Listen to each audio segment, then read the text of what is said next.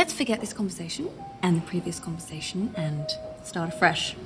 Maybe you don't feel you can talk openly with me right now. My chief reason for disliking Captain Queeg was his cowardice in battle. My only hope is that an earthquake will strike.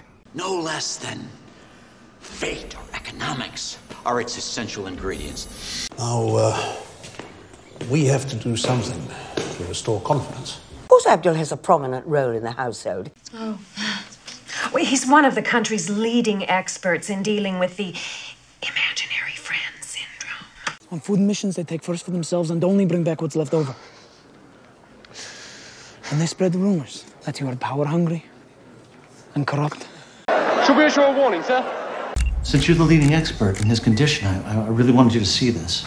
The battle was decisive. The Protestants won. The government's got to restore confidence. Major problem is the vibration. The minute a real war breaks out, all that fancy tech is going to go dark.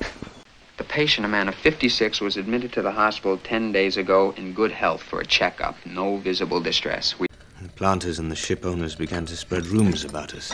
These talks with China are of paramount importance. They always speak highly of you. They sleep soundly. They don't know. This man is dangerous. Your judgment is clouded. Or even she admits there isn't really any pressing need. Thought I'd start afresh. Yeah. Tonight, therefore, on my command, we assume control of the state. Yeah, um, you know, I've, I've traveled extensively all throughout Southeast Asia um, for pleasure and for work, but I, I've never been to China. We actually had a victim admitted to the hospital last week. Well, here's the story. You do what I ask. You play ball and you prepare a feast fit for the royal family, and I will give some serious consideration to letting you live. Well, if ever thou dost fall from this faith, I'll prove a notable argument.